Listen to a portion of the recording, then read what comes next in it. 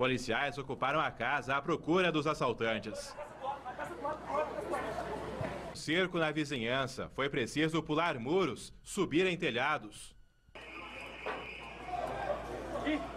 Ladrões passaram por várias casas, arrebentaram até cercas elétricas.